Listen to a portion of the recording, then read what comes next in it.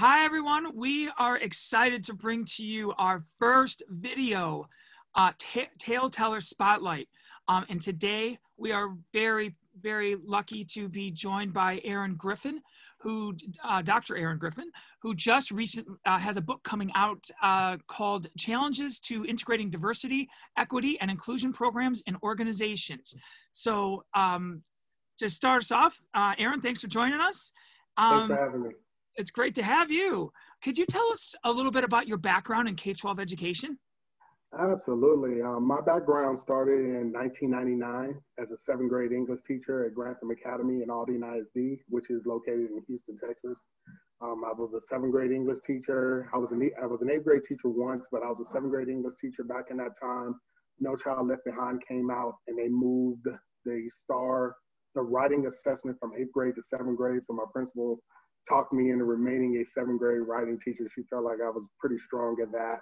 Um, after seven years as an English teacher, I became an assistant principal in the same school. So I was blessed to be in the same school for a total of 15 years. So I was a seventh grade English teacher, then became a middle school assistant principal in the same school for eight years, supervising language arts, which was English and writing, and also special education math and also uh, ESL. And I was a football coach when I was an English teacher, football, basketball, and I coached track one year. Loved coaching girls basketball.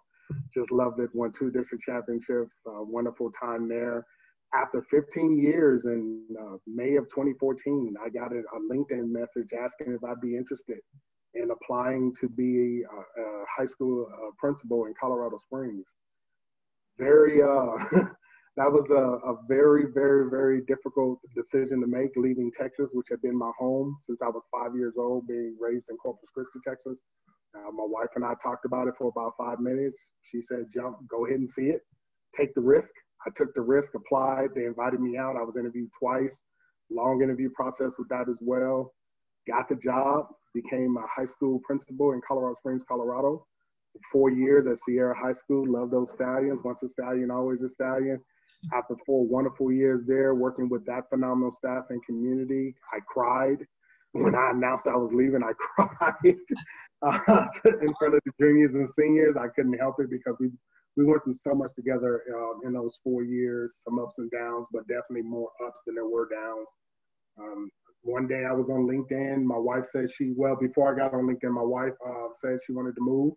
She wanted to move to a larger city, uh, not too big like Houston, but a larger city like Denver. Uh, we really were, were, thinking about moving back to Texas, but we mm-hmm. wanted to see what the opportunities were in Denver. And I got on, I got back on LinkedIn and um, filled out some filters for diversity, equity, inclusion. My wife said, "You need to be one of those equity people." I said, "Well, babe, those jobs don't exist very often. A lot of people really don't want to engage in that." And DSST actually posted director of diversity, equity, inclusion would, would be the founding uh, person who would open up a new department for DSST in that area.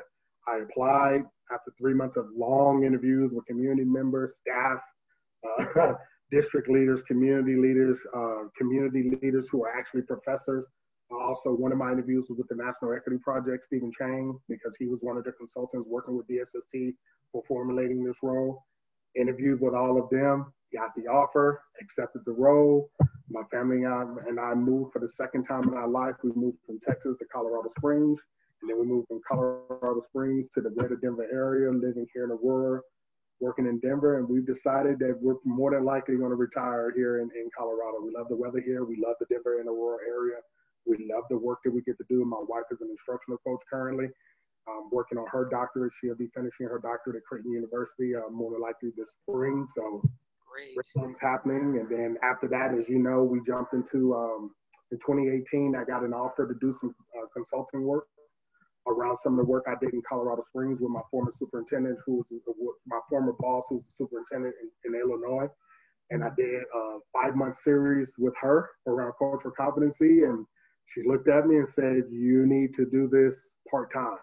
And I did. So we started our own consulting company, Prosperity Educators, where for the last two years, we've been uh, coaching people around diversity, equity, inclusion, uh, systems thinking, organizational planning, professional learning communities, and things. Wow, and there's fertile ground for that kind of work all over the K-12 yeah. landscape. So that's wonderful that you're doing it. Um, so let's talk about your your book that's coming out. uh, challenges to integrating diversity, equity, and inclusion um, programs and organizations. Um, in the book, you look at these very all of these critical issues from a number of different angles, if you will, from um, expanding equity and access in charter schools to culturally responsive social emotional learning, which I'm personally really excited to read that chapter because I've done a bunch of work on SEL as well. Um, can you tell us about your approach to uh, creating and organizing this book and sort of what your vision is for um, what you're hoping to do with it? So, this book, the approach from this book came from my perspective as a practitioner. So, about when was? What was it? It was in Philadelphia in 2014. I went to my first American Educational Research Association conference, and it was at that conference I met Dr. Geneva Gay for the first time. Um, oh, the social responsiveness, um, and I was in a in a room with I was in a group with with her, and she was talking about the the gap between theory and practice. Mm. And, and she mentioned that here we are again talking about theory and practice. How do we get theory into practice? How do we have practitioners and higher ed bridge that gap? I never forget that conversation because I was I was finishing up my doctorate. I was an assistant principal, and that that touched my core. And I said yes, because what I'm doing in my school is exactly that. I'm doing the practice from the theory. And so that set me on a pace, on a pace, I mean, on a path. And I thought about it. I said, when I become a principal, if I ever get to be a principal, this is what I'm going to do. And when I became a principal, I remember distinctively our staff came together, our leadership team, and they said, Hey, Dr. G, we really need you to start to use your research um, on our campus and help us understand cultural competency, cultural relevancy, cultural responsiveness, uh, how to respond to microaggressions. So we set up a we set up a, a, a five month series where I started the series and I started with identity, biases, and microaggressions. Then we moved in the in the cultural responsiveness. Then we moved in uh, from from Goddard. We moved in trust. We moved in the efficacy. We moved in collective efficacy. We moved through all these things, and then what happened is staff members actually started partnering on their own development series off of that. So mm-hmm. what I saw was practitioners respond, in my opinion, from my experience, practitioners respond better when there are strategies and practices that come out of the theory versus standing up and saying, this is the theory and this is what this means and this is what you should be doing. It needs to be done from a way of this is what we do. This is how we incorporate this. So we had a lot of practices in that. And then we were blessed with an opportunity to have restorative justice brought into our school after an event that occurred. And we made that culturally responsive as well. We didn't follow restorative justice by the letter of the law, the way they outlined it. We made it fit our school and our kids. And our kids told us how they felt we should do restorative justice. So fast forwarding to now, one day I was sitting back, my first year in DSST, I just started, it was in the fall of 2018 and I got an email from IGI Global saying, hey, you know, Dr. Griffen, we're looking for a book proposal. Do you have something that might have been swirling? And it just so happened that in my, I have a journal for scholarship. I cut down.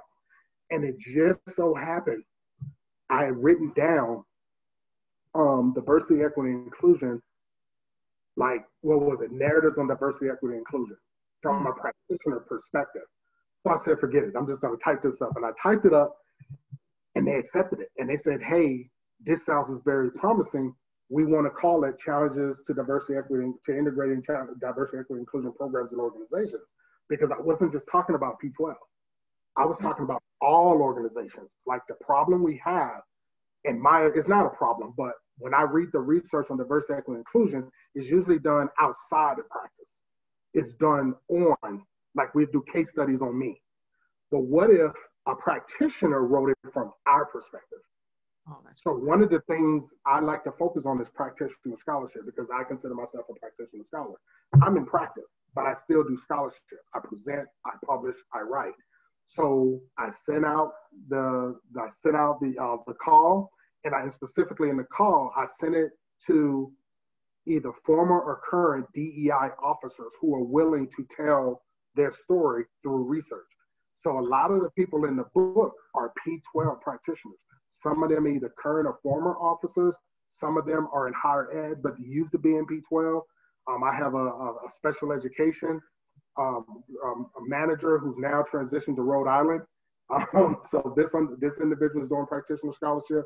So out of the 14 chapters, I would say the majority of those chapters are people who are still in practice, like NP12 or are former practitioners. So this, this chapters are told from the perspective of this is what it's like to do this work versus this is the theory. So yes, there are theory in there, critical race theories in there, social emotional learnings in there, but they're talking about it from a practitioner perspective. And what I love is each one of these chapters has almost a call to action. Like this is what you need to do. This is how we do it versus this is what it is. That's so huge. And I know, so my dissertation, and I've done a lot of research in this area and continue to do it, is in culture responsive pedagogy. And I could tell you firsthand that that's what my dissertation was on the gap. So this, you're filling a huge need, the gap between the theory and the practice. There's an enormous gap. And as you could probably attest to doing professional developments, and it, you kind of alluded to it, teachers want something tangible they can take and do right now. And, and, and when they're going to professional development. So I think what you're offering them is that, uh, and and not just teachers, but but across the organization, different yeah. stakeholders, yeah. Um, which is a huge gift to the work of those doing diversity, equity, and inclusion work. So let me add something to what you just said. When I said the majority of these folks are in practice, I don't mean just educational practice. Right. There are there are chapters by people who are not in education that are in other industries and they put this in. So that's what I want. That's what this is about. This is not just education. These are people that are that have done research outside of education and they're talking about the practices. Like um, I have a couple. I would have had more from overseas, but COVID nineteen hit, and I lost three three uh, authors who were actually impacted by COVID in themselves or the whole research team. And these were people who were doing studies on industry. Like I have a couple of chapters that are on industry, like one from Turkey in particular is on industry and the impact of women in that in, a, in a, um, I believe a communications industry. Uh, so this is not just education. This is like multiple industries, So anyone can look at any, any of these chapters and apply it to their organization. And that's what's great though, because the DEI work like transcends what kind of industry you're in, right? I mean, it's I mean, that's a that, that's a, a transcendent issue we're all dealing we're trying to work through and get better at so i think that's just, having those multiple perspectives is so valuable so you've done a ton of work in uh, organizational diversity and inclusion you that you've even shared with us um, can you talk about like let's get down to the, the ground a little bit more um, what's your approach to working with an organization that's looking to become more diverse equitable and inclusive like where, where do you even start uh, well, I start where the organization is mm. versus starting where the organization is not. One of the, and I like I like I said, I I'm, I'm taking it from the experiences of when I was an English teacher, when I was an assistant principal, when I was a principal. So as an English teacher, I learned very quickly I have to start where my students are versus where, where I want them to be.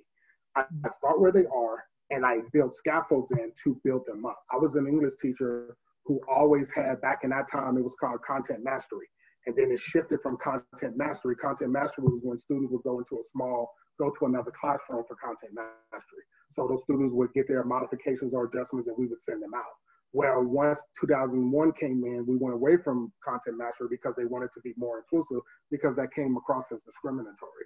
So once we moved into that, that element of away from content mastery and more mainstreaming was what it was called back then, but we know it as inclusion now. And what happened is I always had emotionally disturbed students in my class. I always had students who may have had uh, behavioral issues in their class. I always had students who had IEPs, and I even had students who were dual served, who had IEPs and were second language learners, in addition to have second language learners. So I always learned start where kids are, give them, work with them where they are, and teach them over time. When I was an assistant principal coaching teachers, start where the teacher is, mm-hmm. build scaffolds. When I was a principal, we would hire people, and in the interview process, we would determine very because we use the interview process as also an evaluative process. So we would interview people, have a conversation. It was never me, just me. It was an assistant principal over that department, plus the department chair or, or, or teachers. And we would have a conversation, and they would tell me, this is what the strengths are, these are the weaknesses. We recommend we hire this person, but we start to develop them immediately. And I would talk to some individuals and say, hey, the team loved you. We get them in and we say, hey, here are some areas that we want to immediately address. You see what I'm saying? We didn't wait until they started failing. We would go ahead and address classroom management right now or send them to PD because there's a, a gap in their instructional pedagogy. So I do the same thing now. I go into an organization, we have a conversation, and the organization tells me this is what we've done or haven't done. This is what we wish we could have done. This is where we want to be. Here's our data. Because sometimes it's looking at data, sometimes it's looking at staff surveys, sometimes it's looking at demographics, sometimes it's looking at where an organization wants to be. And we start right there. The organization tells me this is where we want to go, this is where we are. And we have a dialogue of a series and sequence to get them where they want to be. And in many cases, I have to push back. Like they'll say, well, we want to focus on anti racism. And I ask them why. Why mm-hmm. anti racism? Well, you know, that I'm like, no, that sounds like a fact. Like we can't make anti-racism or cultural responsive and cultural relevance a fact. I remember two years ago, somebody kept telling me um, in my own network, hey, Dr. G, when are you going to do cultural relevance? I said, as soon as people understand who they are and their identity. And they go, what do you mean? You can't do cultural relevance and cultural responsive work until people have unpacked, and not just white people, people have unpacked who they are and their identity from a racial perspective, an ethnicity perspective, a sexuality perspective, a gender perspective, and how we've been socially enculturated in, in the narrative of the United States. Some people have never unpacked how I show up as an individual in this space and understanding our biases and our microaggressions before we start to say, we're going to be culturally responsive and relevant. Well, you can't do that if you don't actually know who your kids are and who you are. So that's where I start with organizations. We start with what have you done? Let's build on that. And then also we go into, my wife and I go into, let's look at the work we do as a part of what your organization is already doing. This mm-hmm. cannot be separate. This has to be incorporated. And that's the way we do it in DSST. That's literally what I do as a consultant and as an author is what I do in DSST. There's no separation for me. This is 24 7. Wow. You know, and I really appreciate two things. Well, I appreciate all that you said, but two things that really jumped out to me. One is that identity, self-identity piece is where you start. It's it's you, it's impossible to get into anything when it comes to DE and I until we start to deconstruct who we are, which takes a lot of. It's hard for people. I mean, I know you can attest, like to really look in the mirror and say, yeah. "Who am I?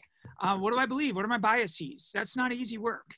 Um, and I think the other piece, and the other piece I really appreciate is when you think about culture and identity, looking at all these different markers, right? Um, and it, like you said, you know, a lot of times you know p- people don't they stop at race or ethnicity and that they think that's culture. And there's so much more to what formulates our lenses. So i really appreciate you taking that more holistic approach.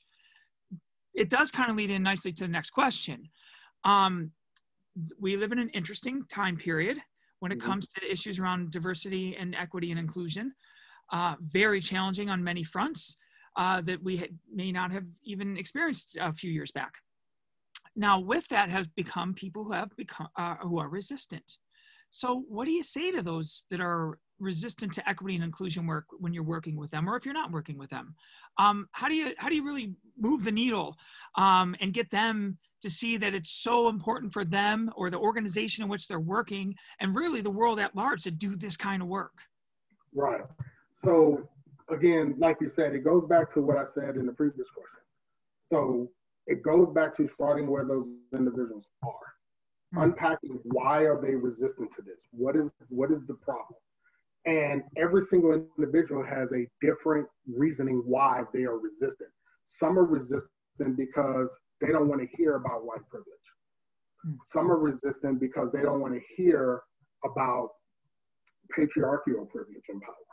Some are resistant because I shouldn't have to do this work as a Black person or a Latinx person or an LGBTQIA identifying person. I shouldn't have to do this work. I already know this work. They need to do this work. Um, some people are resistant because they feel like men need to own their own growth and understand how men show up in their power privilege. And notice how I said men. I didn't say white men. I didn't say black men. I said men because this work has to be intersectional. The problem I've run into when people are resistant is that the work is not intersectional enough and does not value that person's perspective as to why they are resistant. We cannot cancel that person's background, experiences, and perspective. Let me give you a, a prime example. Um, I had a, a, conversation, it was two years ago, it was at the end of my first year. And there was a, a, a young lady who was in sixth grade, uh, Caucasian identifying, who did not want to read, uh, was it um, The House on Mango Street? Oh. Because The House on Mango Street talks about, you know, uh, Latin American, Latinx, Hispanic family. Um, I haven't read it, but my sons and that, so I, I know about it. Um, and she was very resistant to the idea that the in the United States or white people in particular have harmed Latin American family. And she cited her was so powerful about this 11 year old. And she said, because, for example, and she gave her examples. So I talked to the teacher and I said, well, number one, value her perspective because that's real for her. She's like, well, how is that real? I said, because she's in a house where they have these conversations. So that's her reality. Do not negate that young lady's reality, whether you agree or disagree. It's not about that she's wrong because she is right according to her reality. So you have to educate and offer. And that's what the teacher did. The teacher sat down and said, Wow, that's a great perspective. Let's talk about some other perspectives. And she she came back and she said the, young lady was like, Wow, I didn't realize that. See, a lot of times people don't know an alternative perspective, and you have to offer that to them, not give it to them. Hey, can I share this with you? So that's how I usually approach this work because trust me, every session I go into here in DSST, in my consulting work, there's always at least one person who is not happy and are pushing back, and they will ask some very candid questions. And I have to help them understand like, I'm not here to call you a racist. I'm not here to call you a sexist. I'm not here to call you a feminist. I'm not here to call you homophobic. I'm not here for that. I'm here to help you recognize your space and your agency to do the work to show up in your power and privilege and you and be an ally, but also receive allyship because some of us don't want allyship. Some of us want to do the work by ourselves and you don't get to tell me about this work. No. So I approach this very, very um, differentiation, very, very diverse based on that person's experiences and offer them the space to live in their agency, live in their reality, and space for them to own their personal growth and development. We cannot dismantle beliefs and the ideology. We can only disrupt it and make it uncomfortable. That is it. I think that's so powerful what you just said. And I think you're you've got more of a challenge than you might have had pre-social media, right? We've got because that's not how uh, discourse has gone of late of no. you know i'm right you're wrong and let me tell you why here are the facts or here are some emotional appeal right not just let me offer you something here and let me let you mull it over. I think that's such a hugely important orientation. I hope that all the listeners pick up on that is is that that you that creates fertile ground for transformation. And i just love the way that you do that. That's so brilliant. Yeah i um, love what you said. That's transfer that's the goal. The goal is transformation. Yeah. the goal is not change because change can be changed back. The goal is transformation. Transform people's mindsets, transform people's reality, transform why I do the work. I may not agree, but I know this this feels right, or this looks right, or this sounds right. So I'll go ahead and engage, even though I disagree. I'll engage because you've given me the space to do that, knowing that we disagree, but we still value each other's perspective. I mean, look, I'm a black male. And yes, when I show up as a black male who's about 280 pounds into a session, trust and believe, I know because of cultural competency, I know someone's intimidated. Right. PhD, I know someone's intimidated. Yep. I know this. So because of because I know how they view me and in, in, perspective that um, how they view me and how I view myself and how I view them, I have to consciously think about that and create the space for pushback. I'm not the expert in the room. I'm an ex- I have an expert. I have an expertise, but everybody in here is an ex- is, is an expert in you. So maybe you can teach me something I didn't know coming into this space. What a great tangible example of why you got to do the identity self identity work first. You just you just painted the picture for everybody. That's huge. Yep. So, kind of circling just one more time a little bit around the modern the current modern context. Um, we have a lot going on right now, um, particularly specific to broken race race relations, from you know things going on around the Black Lives Matter movement and what gave rise to that, uh, a tremendous rise in white supremacy, um, you know, to uh, continued social, political, and economic inequalities that are being a light is being shown on them like never before. Not that they're new, but now they're sort of kind of into the mainstream now. Um, how does all of that affect your work that you're doing around diversity, equity, and inclusion? So um, I want to say I want to answer that in two ways. One, I constantly get the question as to, hey, Aaron or Dr. Griffen or Dr. G, how did COVID 19, you know, point out systemic inequities? And then what did uh, George Floyd's killing add to this? Mm-hmm. And I love to tell people that that line of, of, of questioning and thinking is problematic for me mm. because people assume that none of this existed. Right. No, everything was there. So this rise, this rise, in my estimation, it isn't a rise. It mm-hmm. was already there. It's just that we're in an age of social media. And the more awakening people get, the more awareness people get, the more they can name it. See, in the past, people couldn't name it. Now that they have exemplars and examples everywhere, now people can say that's white supremacist, that's misogynist, that's homophobic. So it's almost like it's not that there's a rise in it, people are able to name it now mm-hmm. because this has been going on forever. Like listen to all the people who are now going back and filing past lawsuits. Yeah. Because they didn't know what it was. Now they know what it was. So now they're saying, I was sexually harassed. I suffered from abuse. I suffered from racism. I suffered from homophobia. Homophobia. I suffered from um, a misogynist boss. People now have vocabulary to name what it is. So when we say that these things are rising, then people assume that they're going to die down. No, they exist. Let's just accept that this is our reality.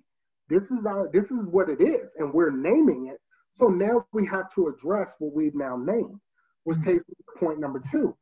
How this is impacting my work is that I am making sure that I have to be centered and I have to be grounded in what I'm doing.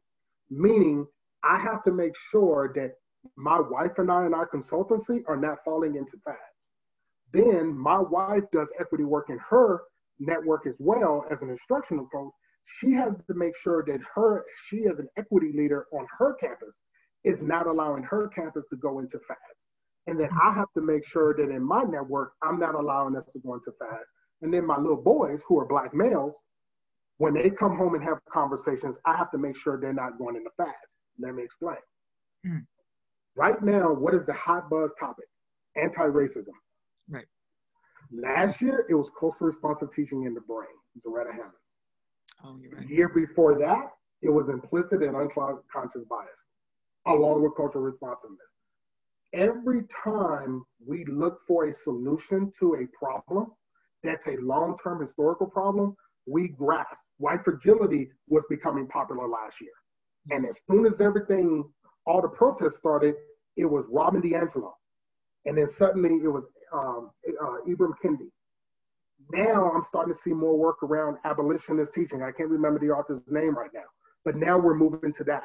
So all of these are great works. All of these are great strategies, but don't grab onto one. So in my work, I am making sure that any organization I work work with does not grab onto one. Yeah. All of these are tools you use to become socially justice oriented. In DSST, we are not going to sit here and say that this is the only resource we have. If you want to do anti-racist work, great. But at the same time, do you know why you're doing that? And this is what I ask any organization. Number mm-hmm. two, what else have you done to prepare your staff for this? Again, the identity work. Yeah. When I when we meet with organizations, I did some work in Hawaii recently. They didn't want to do anti-racist work. They wanted to focus on cultural responsive and relevance because they'd already done some identity work in Hawaii around that community. So we did like a brief historical recollection of racism and systemic inequity in education, starting from the literacy laws of South Carolina, and how that impact, how that has impacted systemic education in the United States context. And then we got into cultural responsive and relevance. You see what I'm saying? So yeah. I started where they were. There's an organization I'm working with right now who wanted me to go all the way back to the history of education, then identity, then bias, then cultural responsiveness. Wow. So the way my work has shifted is one, making sure we're not falling into fads and mm-hmm. calling that the checkbox, no checkboxes. Number two, making sure organizations know who they are, where they are, and where they want to be. Number three, making sure there's ways to hold people accountable. Like what happens when I leave? Right. What's the follow up to this work? And number four, making sure people have agency to do their own personal development. See, right now we have a lot of people doing professional development, but what's the personal development plan? How are you holding your people that you work with accountable for their own development? Because it's not enough to say, um, let's say if I work for, well, I'm not gonna throw out any names. I don't want you sued or me sued. Let's say I work for a big Fortune 500 company, and the company says we're gonna do this work. Okay, great. But as an employee, I should be held accountable for my personal work, not just the professional work. Because this is twofold. This is professional and personal. People like to separate. Remember, you asked me that question about how do I deal with people who don't want to engage? Mm-hmm. They don't want to do the personal work. Yeah. They just want to do the per- professional work. So we right. got to create space. So my work right now is literally pushing people to get out of the fad, focus on you, and focus on the professional development with an outcome. Well, if you don't do the personal work, right, it's either totally inauthentic or it doesn't show up at all in, in the mm-hmm. professional mm-hmm. space, right? I mean, this is Absolutely. who we are is how we show up in whatever vocation we do. So that's huge. exactly. I mean, I mean, I'll use myself as an example again. I am a black, African American, cisgender, heterosexual male. I grew up in a community where we did not talk about gay and lesbian and queer and trans. Yes, there were people around us, but we did not talk about that. Yeah. My personal work is learning more about the LGBTQIA community and reaching out to peers who identify as LGBTQIA and checking my blind spots and checking my biases. My manager checked my bias in July. I did something I didn't realize I was doing and they, who's gender fluid, said, hey, FYI, when you asked me to do this, this felt very tokenizing. Mm. I said, OMG, my apologies. You are absolutely correct. Sounds like I need some more work to do to know how to do this work myself with them as a partner, not doing the work for me. See, I think I see exactly what you're saying. And I think what you just described is what I hope our listeners take away, parents, teachers, any anybody who's listening to this, is that it's it's almost like a fun journey to like learn who am I, and then to learn about what I don't know, or you know, this some maybe uh, these others, if you will, which is you know what I mean. It, people get otherness, but but but and allow yourself to learn. Like as a teacher, I always said I'm a student. I'm a student of my students' culture they taught me more than I ever taught them. And and that was it changes who you are. It changes how you perceive things and how you experience the world and process things. And and at the same time, and I'm really glad you shared this, it's okay to like you're gonna have missteps along the way because you're a learner. And that's okay. Hold on for a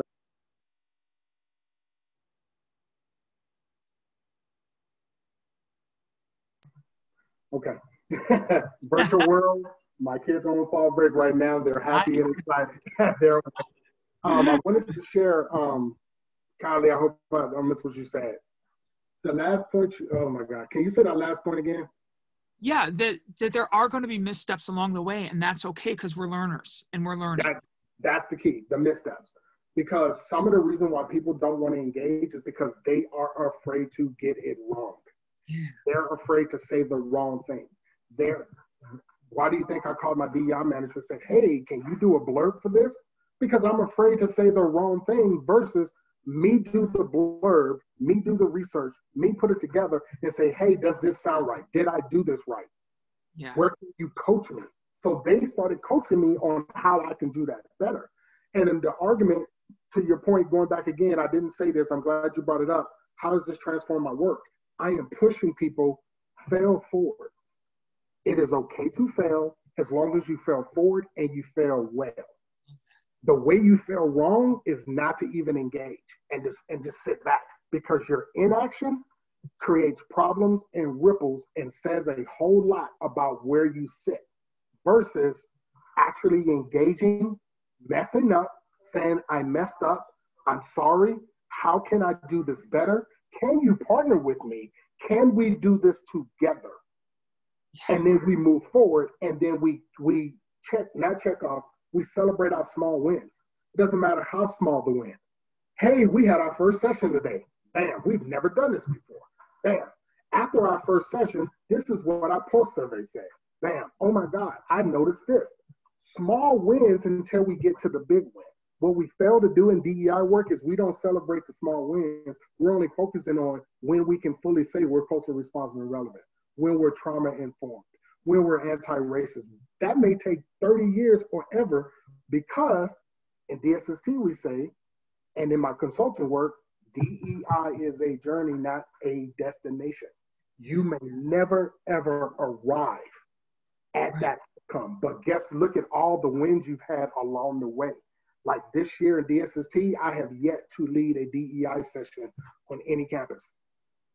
My first two years, I was leading sessions all the time. We're really co-facilitating because I require somebody to facilitate with me. Mm-hmm. Because we've done that, these people who facilitated with me in a trainer of trainer model are now facilitating their own sessions with me and with my DEI partner and myself as thought partners. Wow. We're not having to lead the sessions anymore. We're not even co-planning. We're actually being partners and giving feedback. That's what we're doing. So that's a win. That's a small win. No, we're not culturally responsive. No, we're not culturally relevant. No, we're not fully inclusive like we want to be. But guess what? More people are starting to feel that we're trying and that we're engaged. That's the key. Show, stop being performative. Show people that you're doing the work so that people can give you some grace just a little bit. And oh my goodness, you said the magic word gives give you some grace a little bit. That's it's we all need that right now, don't we? And yep. uh, I just love that. So let me ask you. I'm going to go a little little bit of a different direction on this last question. So when you finally get to turn it off at the end of the day or the end of the week, and you and you and you're not thinking about all this incredible work that you're doing, what do you think about? Sadly, I mean, you're asking this question, and it's so sad. And I say it's sad. It's not sad, but sadly, my boss uh, and my uh, and and her boss, our CEO, which I meet with our CEO twice twice a month. He and yeah. I have weekly check-ins for me to update for him to coach me as well. And then I meet with my boss every single week. And sadly, when they've asked that question, I say, well, Saturday is my scholarship and consulting. Mm. Um, so to, when I turn it off, I am literally I'm watching football, I'm watching basketball, I'm moving night with the kids, but it never really turns off. Hmm. Because when I'm not doing work with DSST, that same work transitions to my scholarship, which is yeah. how I was able to to uh, edit this book and in my own book, The Power of a Praying Principal, plus another edited book that's coming out, Fighting uh, Fighting the Good Fight: National Narratives of the African American Experience, plus another book I have on P12 practitioners, race mentoring and P12 pre-12 educators, practitioners contributing to research. So that's how I balance because that's yeah. that that fills my bucket because my my I am purpose driven and my purpose is to be the DEI 24/7. I can't even watch a movie without a critical race, culturally responsive, yeah. anti-racist lens. Like I can literally, like literally right now, I haven't done it yet, and I'm just gonna throw this out here uh, because I find it very problematic in the current time when we're talking about a vaccine. Mm-hmm. That I see commercials about HIV medication, and what I noticed very quickly is that the actors or the real life people None of them are cisgender heterosexual. None of them are heterosexual males. Oh, interesting.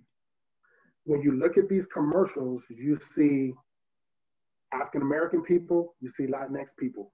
You even see African American straight couples. I assume they are. But yeah. then you also see transgender people.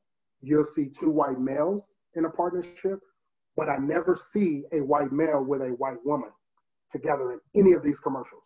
Wow. So think about that from a research perspective.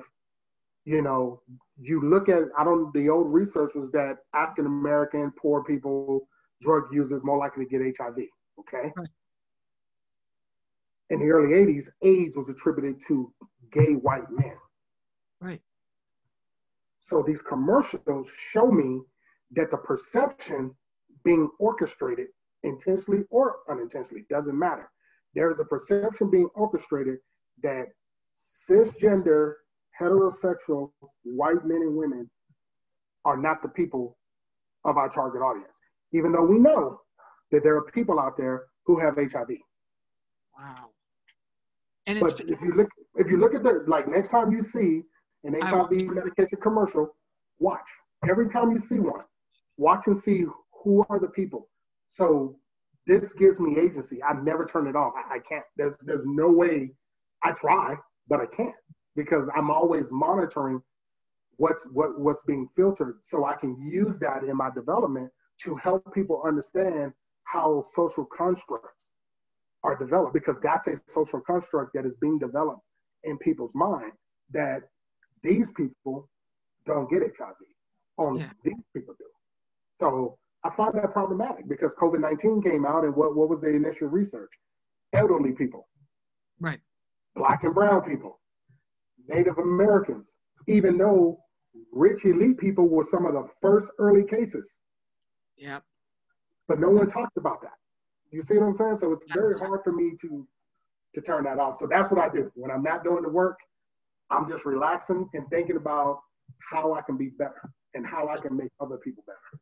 And you know what's cool about that though is like you just explain what it's like when you find your purpose. You know, for so many people that will, you know, I think that don't go after that purpose or or just say ah that's something on the purpose. When you live on purpose, it looks like what you just described. It, you live it. It's it's it's it doesn't turn off. It's almost who you are, and you you can't. And I just think that's so cool that you shared that. Thank you. Yeah. Dr. Griffen, it was an incredibly wonderful time talking to you. Um, every, uh, everybody, we will have links uh, in the blog post below to all the great work that Dr. Griffen's doing, including uh, the books that he referenced and his consulting work and, and other, other pieces. So please be sure to check that out. Um, and Dr. Griffen, thanks for uh, being our first video Tale Teller Spotlight. very much. It was awesome. Appreciate you. Awesome.